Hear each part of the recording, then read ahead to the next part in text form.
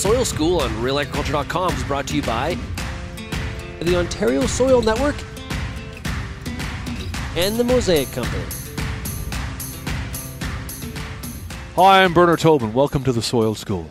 How do you measure soil health? That's a question a lot of farmers ask. And today, we're going to look at some of the assessment tools available and the type of insights those tools can provide. And uh, to help me tackle this topic, I'm joined by OMAFRA soil scientist and land resource specialist Dan Saurette.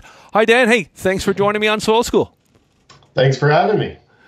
Dan, um, there are several uh, soil health tests available to farmers. Um, I want to dig into the, some of those specific examples in a minute, but before we get there, um, what type of information slash results in general can farmers expect uh, to receive from a soil health test? Yeah, so I mean, soil health tests are really just some uh, uh, soil analyses that we kind of uh, wrap up uh, into the, the soil health, I guess, sphere, where we talk about um, soil biological, chemical, and physical properties. And so those are pretty common things that we would look at um, in regular soil analyses, except some of these are more linked to the concepts of soil health.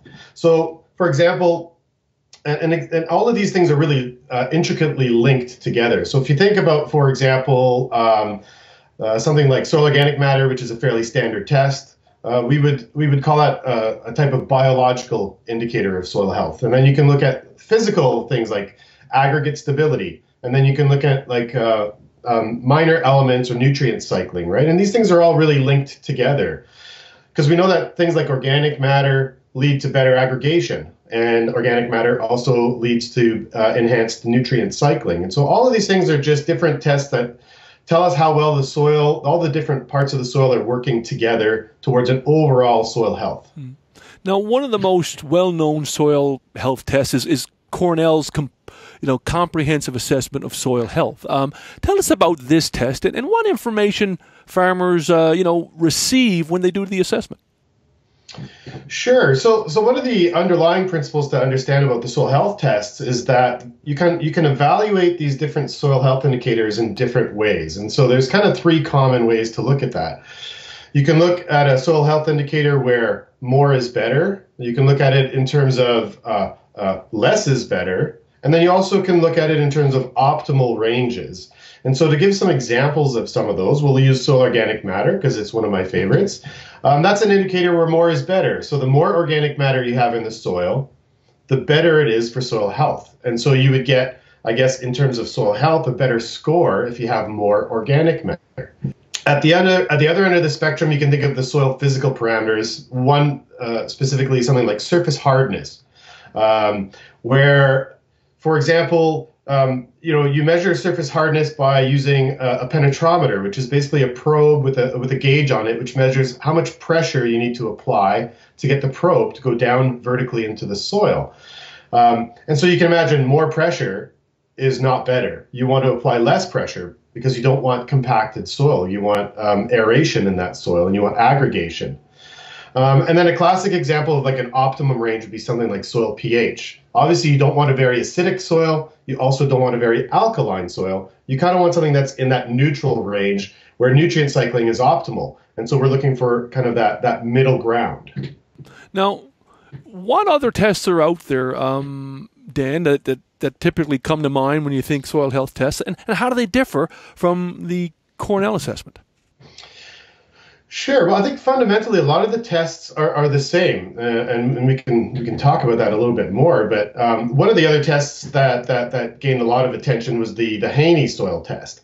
Now, this this the Haney soil test looks at a number of different things, um, but there are three components that make up the actual soil health score that's calculated at the end of the the the, the Haney test, and that's the uh, soil respiration, um, water extractable organic nitrogen and water extractable organic carbon. So really, these are all kind of indicators of, uh, of microbial activity um, in the soil.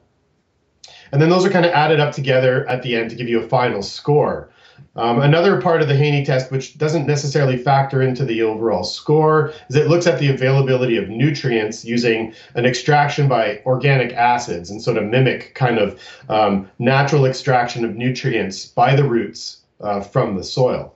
Um, there's also some other kind of commercially available soil health tests. One that I think a lot of people have probably heard of uh, is Solvita. So Solvita, um, uh, they have uh, they've developed two tests. One is uh, the the CO2 burst test, which is just again soil respiration test, um, and that one we typically just call Solvita. And then there's SLAN, and so SLAN is uh, is soluble labile amino um, nitrogen. So it's just basically an indication of nitrogen availability in the soil. So a lot of people have probably heard of, of, of that one. That's a commercial test that's available um, by, by the company called Solvita.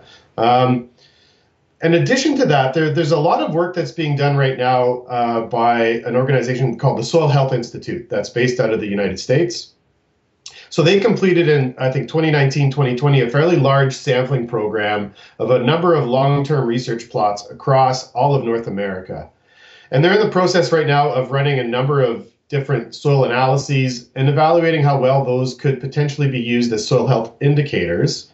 Um, and really, the, the focus there is to is to provide some, I guess, some advice on which soil tests should be used or could be used as soil health indicators, and which ones might be stable kind of across uh, across geographies. So, the, in terms of like the differences and the similarities between all of these things, um, you know, all of these tests really look at kind of uh, uh, important characteristics of the soil that we've already talked about in terms of soil health. So physical, chemical, and biological. And so they might get there using slightly different tests, slightly different procedures, but they're all looking at those same aspects of soil that are critical to soil health overall. Mm. Now, when I'm looking for soil health information, I always see references to soil health tests and soil health frameworks. You know, what's the difference between the framework and a test, and, and how do they connect, Dan? Yeah, so I would I would say that um, the way you want to look at it is a, a soil health test that would be an individual test that makes up part of a soil health framework. So, for example, the, the one that people uh, uh, know about a lot is the Cornell soil health. You know, we call it the Cornell soil health test. Well, the, that that is actually a, a, an assessment framework where you look at multiple different soil analyses that are used as soil health tests or indicators, and you wrap them all up into uh, an overall score. And so that's the framework. So you have all these different tests that contribute to your overall um, final score. So, Dan, final question. You know, when you consider the tests and frameworks available to farmers, you know, here in Ontario and across Canada, how can growers best use them to effectively evaluate soil health? Yeah, you know, it's it's a good question. It's a difficult question to answer sometimes. Um, so, what we've seen uh, from literature recently um, and from experience in, in, in, in, looking at soil health uh, indicators for Ontario um, is that these tests need to be calibrated regionally. So we can't just take the Cornell framework, for example, which has a number of, of scoring functions for all of these different indicators, and just apply them to Ontario.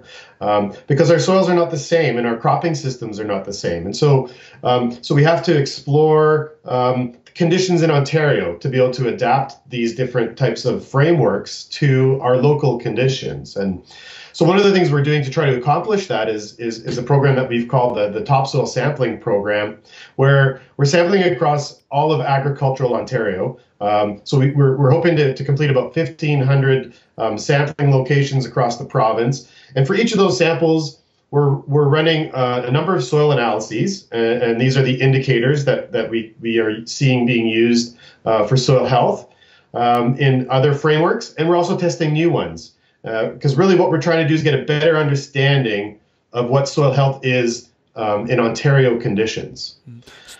So when yeah. do we get a soil health test for Ontario?